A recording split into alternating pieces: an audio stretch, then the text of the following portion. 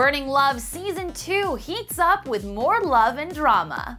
The popular web series that we all know and love as perhaps the best Bachelor spoof around is all set for Season 2, and I've got a sneak peek at Bachelorette Julie's first champagne toast. Take a look. I just wanted to say thank you so much for joining me on such an incredible journey. I just hope you trust me when I say I know in my heart that my husband is in this room somewhere. So, to finding true love. True love. To give you a bit of background, last season Mark broke Julie's heart and she took a quick turn down lesbian lane. Turns out Julie didn't really like Carly and realized she was never even a lesbian to begin with, so now she's trying to find love among 16 new male contestants. As you may have seen, there's some familiar faces in season 2. Michael Cera, Adam Scott, Colin Hanks, Jerry O'Connell, and even my personal favorite Adam Brody will all be vying for a chance at love.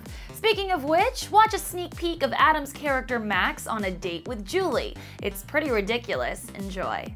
I'm Jewish, so if Julie were Jewish too, that would be awesome. But you know, it's not that big a deal to me. And then at the same time, it is the most important thing ever.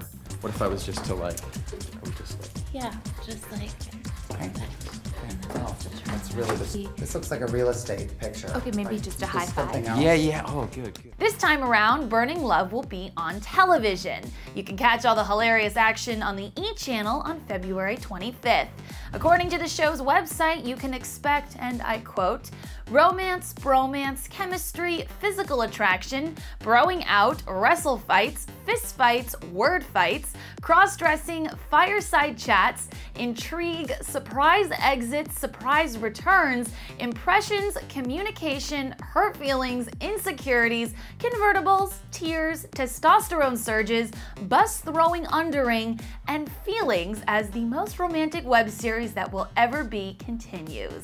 So will you be turning into Burning Love Season 2? Which contestant do you think will win over Julie's heart? Personally, my money's on Adam Brody, but I want to hear from you. Vote below and make sure to subscribe. Yes, you heard me. Please subscribe, subscribe, subscribe. My name is Deidre Behar. Thanks so much for watching, and I'll see you later.